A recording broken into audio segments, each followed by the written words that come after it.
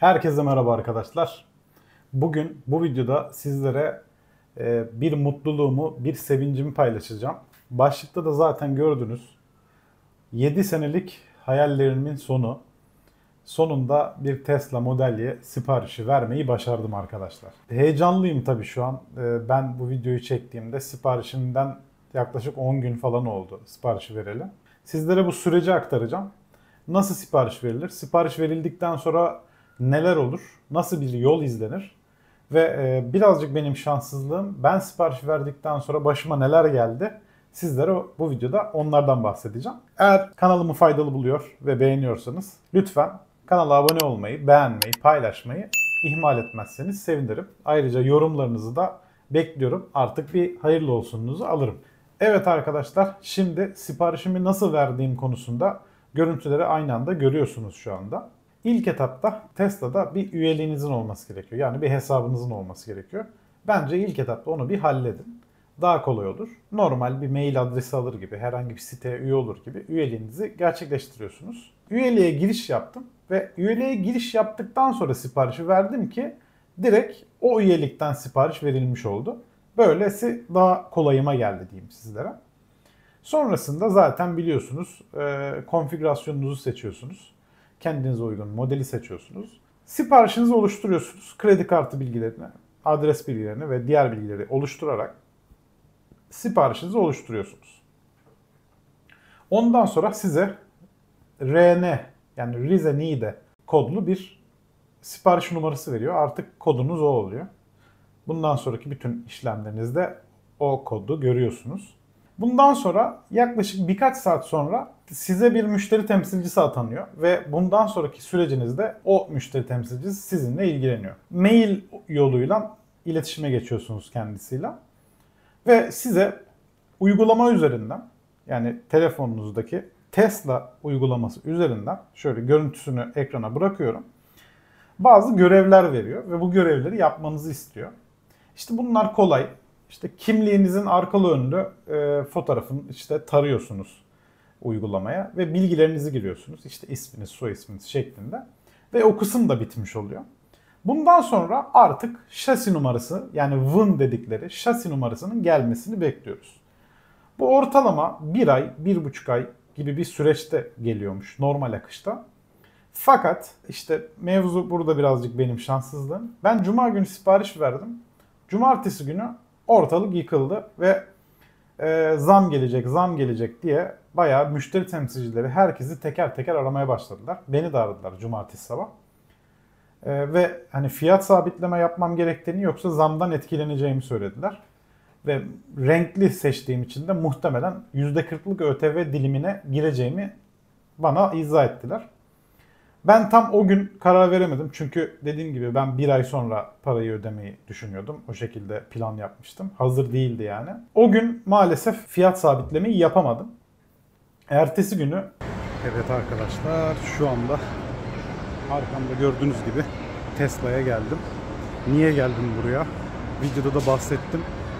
E, fiyat sabitleme için malum bugün pazar olduğu için e, müşteri temsilcime ulaşamıyorum. Ve pazartesi gerçekten hani zam gelecek diye büyük bir beklenti var. E, risk atmamak için ben de mağazaya gelerek buradaki sağ olsun e, görevli arkadaşlar yardımcı oldular. Sisteme bir şerh koydular. Hani benim sipariş numaram üzerine e, teklif bekliyor şekline geldi artık benim şeyim. Ve herhangi bir zam gelirse bundan etkilenmeyeceğini söyledi görevli arkadaş. Çok sorulan bir soru arkadaşlar onu da sordum. Hani fiyat sabitledim. 5 günlük süre içerisinde parayı ödemedim ne olacak? Arkadaşlar bir hakkınızı kaybediyorsunuz. Biliyorsunuz ki Tesla'da iki defa teklif alma hakkınız var. Böyle yaptığınız zaman bir hakkınızı kaybediyorsunuz. İkinci fiyat teklifi geldiğinde onu da ödemezseniz bu sefer tamamen siparişiniz iptal oluyor. Kaporayı geri alabilir misiniz, alamaz mısınız? O artık ayrı bir e, konu. Alanlar var, alamayanlar var. Orasını ben bilmiyorum. Zaten konumda değil kaporayı geri almak falan. Şimdilik durum bu. Tekrardan masa başına geçelim. Pazar günü akşam e, akşam saatlerinde fiyat sabitleme mailim geldi. Ben de hemen kabul ettim. O maildeki linke tıklıyorsunuz ve sizi siteye atıyor. Oradan fiyatı kabul ediyorsunuz. Fiyatı kabul ettikten sonra e, artık fiyatım sabitlenmiş oluyor. Pazartesi günü ödeme maili geldi bana. İşte IBAN'ların bulunduğu, nasıl ödemem gerektiği konusundaki bilgileri içeren mail geldi. Ve e, sağdan soldan artık borç aç topladığım parayı Tesla'ya gönderdim. Ve fiyat sabitlemem artık tamamlanmış oldu. Bundan sonra arkadaşlar fiyat sabitleme ne demek? Dolar ne kadar çıkarsa çıksın fark etmiyor. Ben artık arabayı almış sayılıyorum. Sadece bir tane şeyden etkilenebilirim. Eğer devlet ÖTV oranlarını resmi olarak değiştirirse ben artık 160 kW motor tanımam hepsi budur mesela gibi bir şey derse o zaman maalesef etkileniyoruz.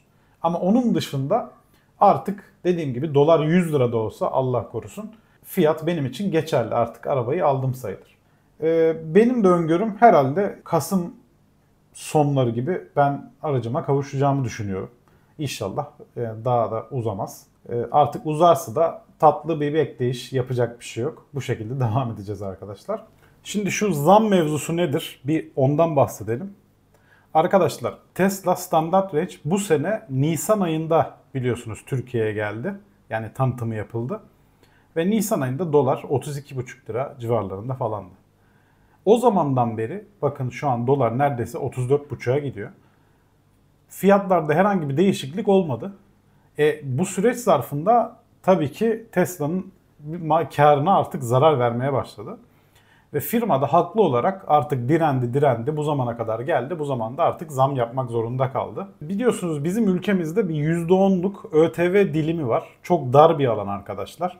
Nedir bu %10'luk ÖTV dilimi? Ya bir aracın %10'luk ÖTV diliminde olabilmesi için vergisiz fiyatının 1 milyon 450 bin TL'yi aşmaması gerekiyor. Ve motor gücünün de 160 kW gücünü aşmaması gerekiyor. Tesla'da biliyorsunuz ki zaten standart range modeli bu şekilde optimize edilerek Türkiye'ye geldi. Biliyorsunuz Tesla'nın Türkiye'ye gelişi normal şartlarda 1 milyon 350 bin TL'ydi. Yani 100 bin TL arada ÖTV diliminin aşılmasına fark var. Bu 100 bin TL bize neyi sağlıyordu? Ekstra renk seçmemizi, araca ekstra donanımlar katmamızı sağlayabiliyordu. Yaklaşık bir 50 bin TL gibi bir zam geldi aslında Tesla için. Tesla nazarında bir 50 bin TL gibi zam geldi. Aracın yeni vergisiz fiyatı 1 milyon 400 bin TL oldu. Bakın görüntüsünde şu an yenisini koyuyorum. Eskisiyle yenisini karşılaştırın. Şimdi böyle olunca arada sadece 50 bin TL'lik bir fark kaldı. Ve bu fark benim biliyorsunuz mavi seçtim. Mavi seçmeye bile yetmiyor. Çünkü mavinin fiyatı 60 bin TL. E 1.400'ün üstüne 60'ı koyunca 1 1.460 oluyor ve dilimi geçmiş oluyorsunuz otomatikman. Yani 1.800'lük araba oluyor 2.5. Bir üst dilime geçtiği için araba. Şimdi geriye ne kaldı? Tesla standart renk almak istiyorsanız yapmanız gereken şu arkadaşlar. Beyaz renk, siyah renk veya içini beyaz tercih edebilirsiniz sadece. Başka hiçbir opsiyon bu 50.000 TL'yi kurtarmıyor, geçiyor ve araba bir üst dilime giriyor. Arkadaşlar yani içi beyaz tercih edilir. Renkler, zevkler veya siyah. Zaten başka renk seçemiyorsunuz. Yani renk sizin için çok önemli değilse bence beyaz seçin. İleride kaplatabilirsiniz. Bu bir seçenek yani. Ama ben hani zamdan önce mavi rengi fiyatını sabitlediğim için 1 milyon 851 bin TL'ye mavi rengi sabitlemiş oldum. Şu anda maviyi seçtiğinizde 2400 gibi bir rakam çıkıyor. E, mantıklı değil tabii bir renk için 600 bin TL verilmez. Yani vermeyin zaten arkadaşlar. Hani beyaz seçin kaplatın daha ucuza gelir. Böylelikle videomuzun sonuna geldik. Merak ettiğiniz konuları yorumlara yazarsanız bilgim dahilinde elimden geldiğince yardımcı olmaya çalışırım. Umarım videoyu beğenmişsinizdir. Eğer beğendiyseniz kanala abone olmayı, beğenmeyi, yorum yapmayı ve paylaşmayı unutmazsanız sevinirim. Herkes için dilediği, hayal ettiği arabaya kavuşmasını diliyorum. İçtenlikle bütün temennim bu şekilde arkadaşlar. Bir başka videoda görüşmek üzere. Hepinize hoşçakalın diyorum.